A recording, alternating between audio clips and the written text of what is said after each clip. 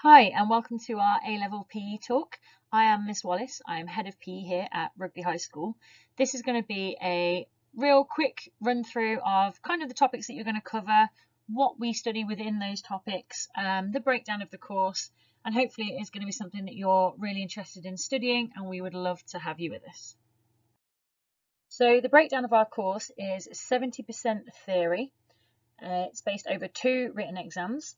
Component three is your practical performance in which you can be assessed as a performer or as a coach of others and that's worth 15%. And then component four is also 15% and that's a personal development program of which I'll give more details later on in the talk. So, one of the topics that we study is applied anatomy and physiology. Here we'll be looking at the musculoskeletal system, cardiorespiratory system, our neuromuscular system, and also our energy systems. For each of these, it's a case of looking at the structures, the physiology, the processes that take place, and then the adaptations that happen to these systems as a result of training and the impact then that that has on our sporting performance. So in exercise physiology, we look at diet and nutrition and how we can manipulate diets, what supplements we can use, and how athletes will get the optimal weight in order of getting the best performance out of their sport. We look at different training methods, testing methods, technology that we can use to monitor fitness um, and all the principles around that. Then we look at injury and rehab, so classification of injuries, uh, preventative methods, and the processes of rehabilitation that athletes have to go through. Movement analysis is about motion. So it's uh, looking at sporting context, the moment of inertia, forces that we can apply, types of spin, effects of flight, and how that will impact on performance. Skill acquisition is about all the learning theories. So how do you pick up the skills that you know? How did you learn them? What method did your coach um, take that helped you to learn those skills in the most effective environment? what type of practices, guidance and feedback did they use.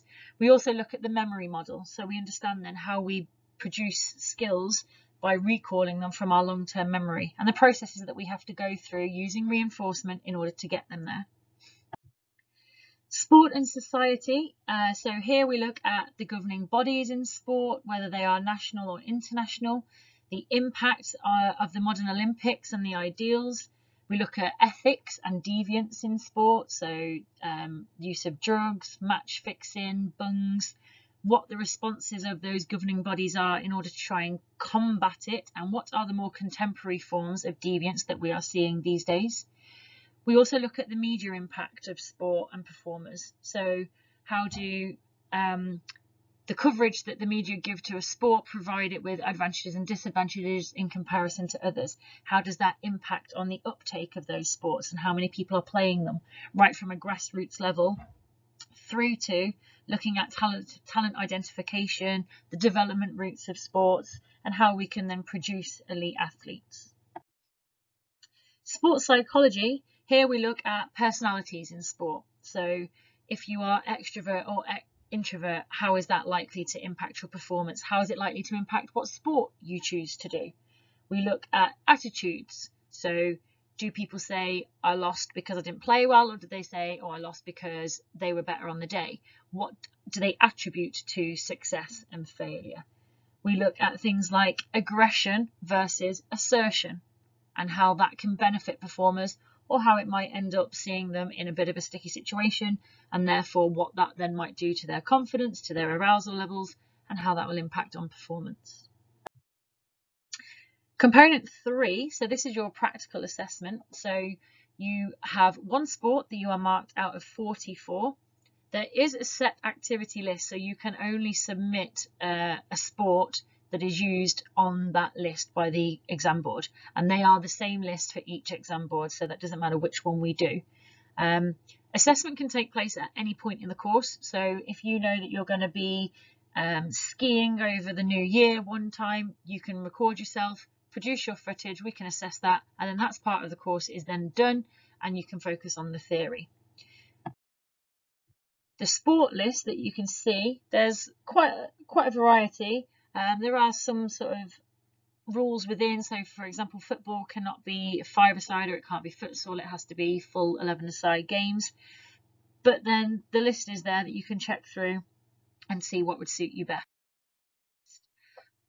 The way it's marked is banded into five different bands. So that divides the marks between the both and the language just kind of changes in each band as to whether you are competent, basic, good, very good or outstanding at the skills. What is most important though at A level in comparison to if you've done GCSE PE is that you are assessed in your application. So we're not looking at skills in isolation in drills, we're looking at skills as a whole and how you apply them in a competitive context. Component four is your performance development program. So you have to analyze a performance, you have to analyze areas of fitness, decide then on a physiological component and a tactical or technical component that needs improving within that performance and design and implement a program that's then based around improving that and retesting at the end to see if it has worked. Subjects that complement PE would be psychology, biology, physics, English language. Um, okay, thanks for listening. So that was our whistle-stop tour of A-level PE. If you do have any more questions, please don't hesitate to email me at n.wallis at rugbyhighschool.co.uk. Thank you.